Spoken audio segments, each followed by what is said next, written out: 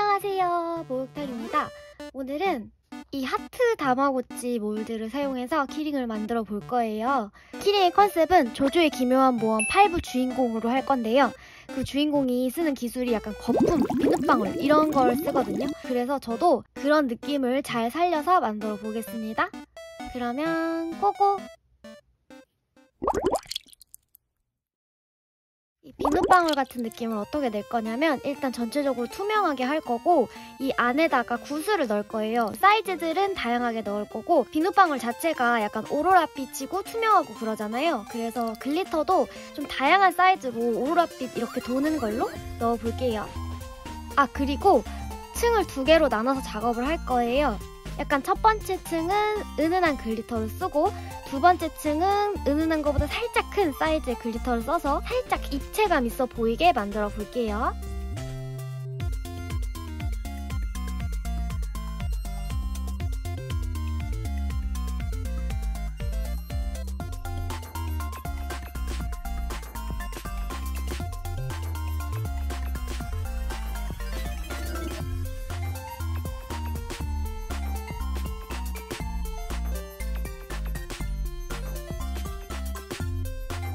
이제 두 번째 층을 쌓아줄 건데요. 첫 번째 층에 썼던 글리터보다는 살짝 큰 입자를 사용할 거고요. 구슬들을 아래 층에는 투명한 거 위주로 썼어요. 근데 두 번째 층에는 살짝 색깔 들어간 것도 써보면서 만들어 볼게요.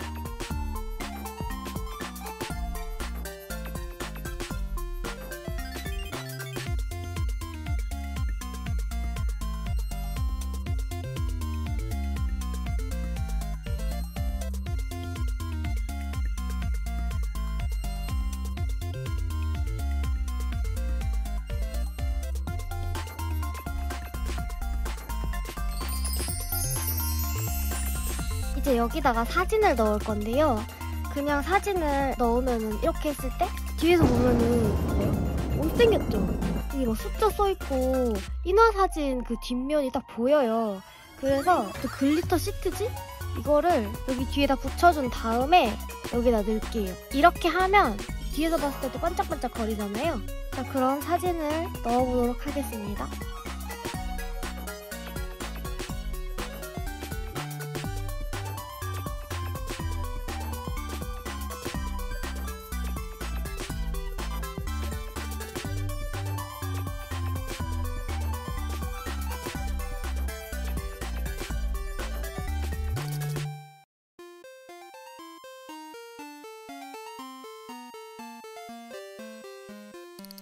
이제 사진도 다 넣었고 쉐이커 내부를 채우기 전에 여기 버튼 부분을 먼저 꾸며줄게요.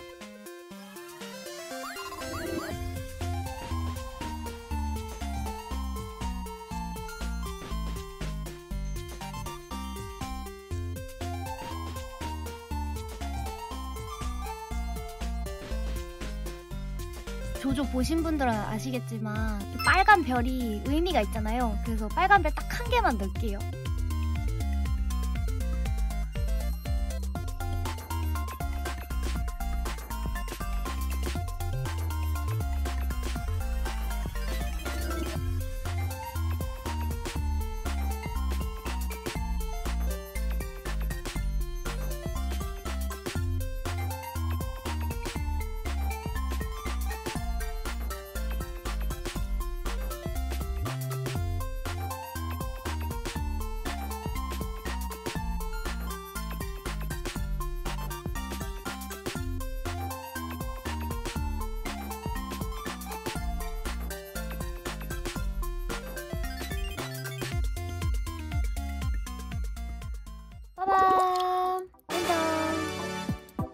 일단은 이 캐릭터가 쓰는 기술이 비눗방울 같은 거라서 틀 자체를 비눗방울 느낌이 나게 만들고 싶었어요.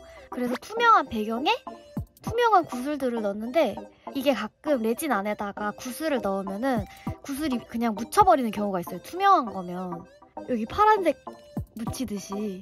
근데 여기 이 투명한 구슬이 오로라 구슬이라 그런지 묻히지 않아서 진짜로 비눗방울 같이 됐고요. glitter도 층을 나눠서 넣었잖아요. 첫 번째 층에는 작은 걸로, 두 번째 층에는 큰 걸로 이런 식으로 넣었더니 약간 입체감도 있어 보이고 반사되는 것도 굉장히 예뻐요.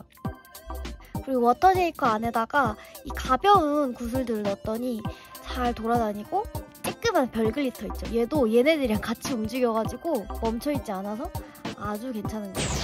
다마고치답게 버튼들도 만들어줬고 그리고 뒤에 보시면 이 반짝이 이거 그냥 사진만 딱 넣었으면은 뒤에 진짜 안 예뻤을 건데 제가 사진에다가 시트지 붙이고 넣었잖아요. 그래서 뒤에서 봐도 예뻐요.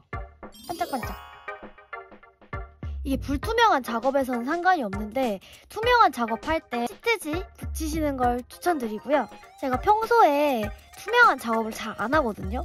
왜냐면 이게 색깔이 변색이 돼요. 근데 이거는 그냥 제가 쓸 거라서 그냥 만들었는데 너무 예쁘네요. 이제 한번 투명한 것의 맛을 봐버렸으니 다음에 한번 다른 스타일의 투명한 레진 키링도 만들어 볼게요. 그럼 이제 이거 제 에어팟에 달아줄게요.